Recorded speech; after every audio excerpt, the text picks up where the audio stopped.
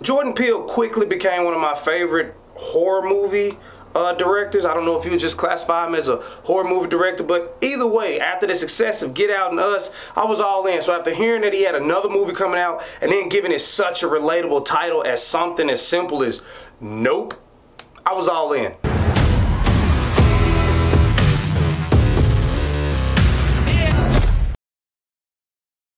Nope is Jordan Peele's latest horror movie in which a family of horse trainers are on their ranch and after a while and a couple of weird events they start to realize that there's something out there watching them and it's probably extraterrestrial. Now although I'm gonna keep this spoiler free I gotta say I wouldn't really call this movie a horror movie so if you're going in expecting like a scary horror movie it's not. I would say it's more of a thriller sci-fi that has a couple of horror feelings in it at times if that made sense. To jump it off the cast was amazing. You had Daniel Kaluuya, Keke Palmer, Steven Yeun, Keith David was even in the movie although he was was in it for such a short time, I don't know if you would call it a cameo or a role. But either way, I was extremely pleased with the cast. Uh, for starters, like I said with Keith David, he plays the father of Daniel Kaluuya and Keke Palmer's characters. And again, he wasn't in the movie much, but he definitely gave off that fatherly, I'm wise beyond my years, all that kind of, you know, he just gave off the dad vibe. Daniel Kaluuya did a good job in this movie as well. I don't know much about his body of work outside of his movies with Jordan Peele, but he played basically the same role of the quiet,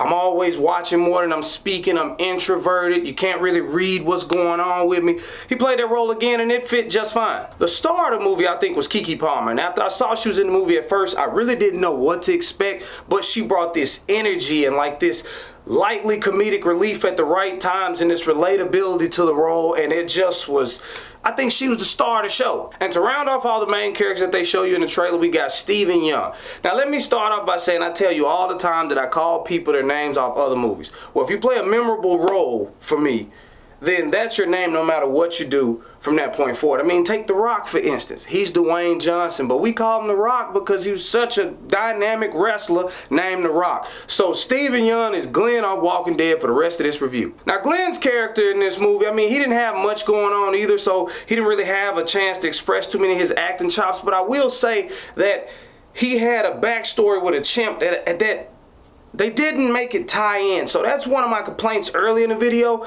but that was the biggest point of his character. He was this childhood star who had suffered this traumatic experience and then now he's an adult and they tried to make it make sense and for me it missed. And speaking of missing, that'll carry me over into the pacing of the movie. Um, It's a longer horror movie for sure with a runtime of over two hours. So you gotta expect it to be a little slower in the beginning and it definitely was. They're trying to set up the premise, they're trying to build on the characters and the suspense and it is very slow, but I have to say there's a build to it that when you get to the end of the movie, it was worth it because the second half of the movie is definitely far more exciting than the first half. So the pace is more like a, a, a train taking off, if that makes sense. Now, visually on the movie, I'm torn. I say that because the movie was beautiful. I mean, it was shot great, um, great location. Everything felt authentic and real. But then when we got to the reveal of the horror aspect, I wasn't too pleased. So I'm kind of torn on the movie visually it was an interesting and new take, and I don't want to spoil anything,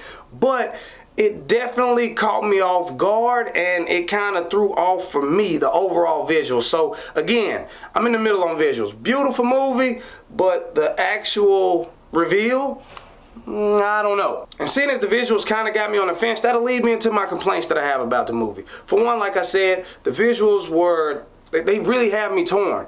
Um, another thing I wasn't a fan of, again, the, the slower beginning. I mean, it wasn't like snail's pace slow, but definitely could have been a little bit more. Um, but the payoff in the end kind of makes it worth it, but still, it was a little slower in the beginning, so that's a gripe for me as well. And again, another gripe is the chimp thing. It didn't make sense. It didn't tie in. They could have cut that out the movie and saved us some time, and maybe that would have helped with the pace of the movie. But to sum it up, Nope was a interesting take on a horror movie that again I wouldn't call a horror movie. It had a great cast with great acting. The pacing of the movie is it's worth it in the end, but it's definitely slow in the beginning. The visuals are 50-50 for me. So with all that being said, I can't rate this no higher than a midday matinee. But don't let that deter you because it's definitely a movie worth watching. But alright y'all, that's it for this one. So for the comment convo today, I want y'all to let me know what did you think about the visuals. If you've seen it, you know exactly what I'm talking about. Whatever it is, comment below and let me know. Now as always, if you liked this video and you thought it rocked, like, comment, subscribe to see more from me, Mike Proc. Later.